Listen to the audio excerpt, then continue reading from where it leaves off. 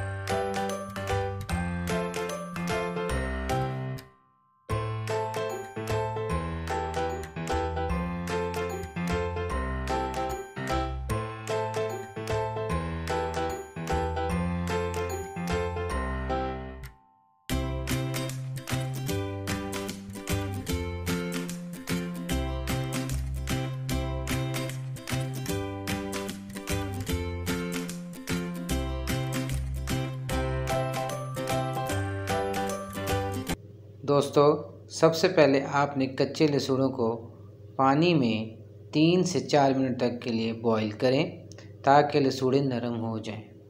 خیال رہے کہ ان کو زیادہ بوائل نہیں کرنا۔ بوائل کرنے کے فوراً بعد آپ نے لسوڑوں کو تازہ پانی میں ڈال دیں تاکہ یہ زیادہ گل نہ جائیں۔ اس کے بعد آپ لسوڑوں کو کسی صاف جگہ پر رکھ کر خشک کر لیں۔ اور اس کا تمام پانی خشک کر دیں۔ اس کے بعد لسوڑوں کی ڈنڈیاں اتار لیں، جیسا کہ آپ کو نظر آ رہا ہے۔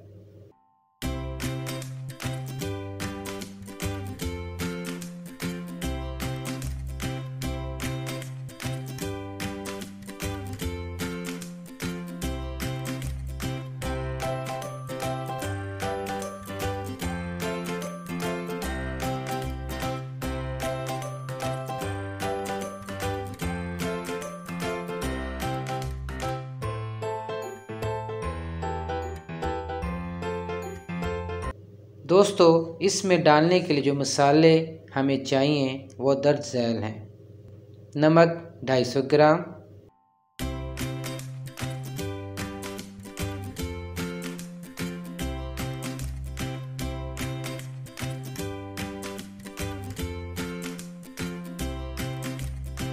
ٹاٹری سائٹرک ایسڈ تیس گرام۔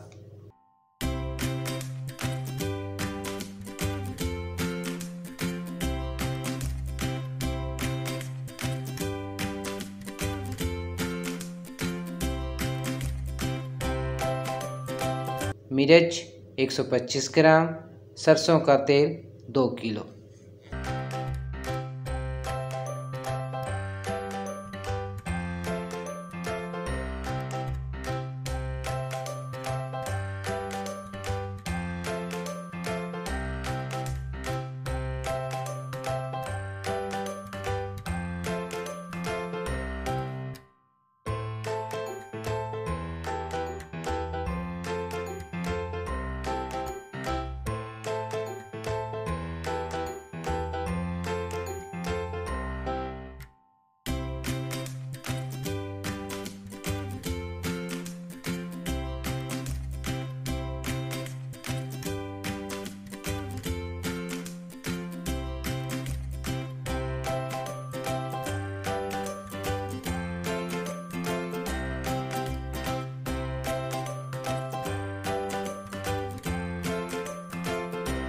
دوستو، سب سے پہلے جو مسالے ہیں، ان کو تھوڑا تھوڑا لسوڑوں کے اوپر، جیسا کہ آپ کو ویڈیو میں نظر آ رہا ہے، ڈال کر مکس کریں گے۔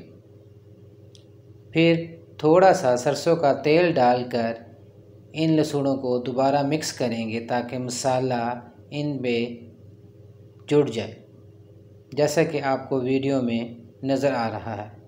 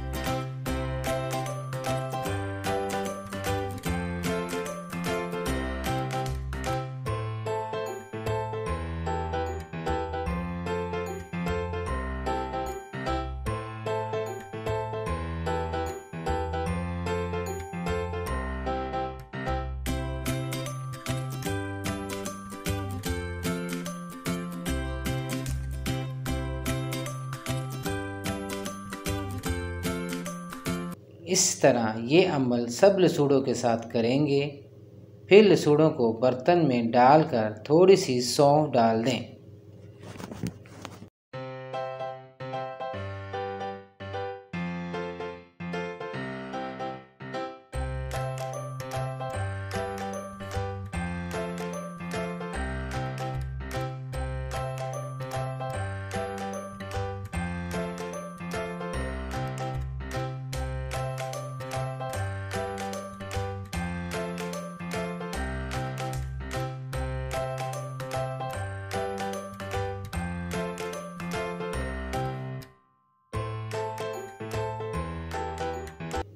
پھر اس میں سرسوں کا تیل ڈال دیں، لسوڑوں کو اچھی طرح ہلا لیں اور مکس کر دیں۔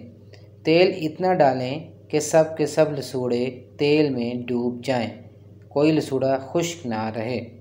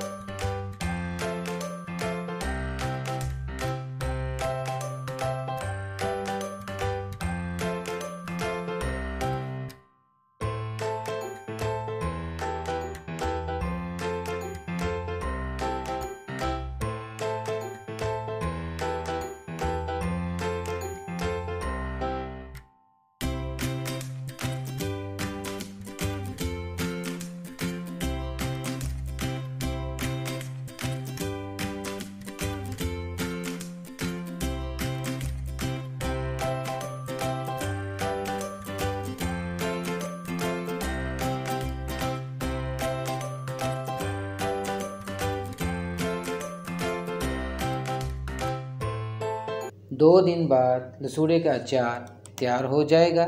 آپ خود بھی کھائیں اور عزیز و دوستوں کو بھی کھلائیں۔ دوستو، اگر آپ کو میری ریسیپی اچھی لگی ہو تو میری ویڈیو پر لائک، شیئر اور کمنٹ ضرور کیجیے گا اور سب کرنا مت بھولیے گا۔ اور اگر آپ چاہتے ہیں آپ کے لیے ایسی ہی مزہ ریسیپی میں لے کے آتا رہوں تو بیل آئیکن بٹن کو ضرور پریس کیجیے گا تاکہ آپ کو بر وقت میری آنے والی ویڈیو بر وقت مل سکے۔ دعاؤں میں اجازت چاہوں گا۔ اللہ حافظ۔